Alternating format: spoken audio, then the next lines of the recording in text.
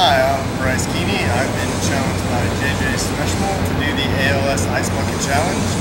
So I donated my $10 and now I'm going to get a uh, bucket of ice water poured on top of it. Woo! Woo! I forgot to mention that uh, I'm going to challenge uh, Darren Gerke, Cameron Gray, and Scott Hannon to do this next. So look forward to that.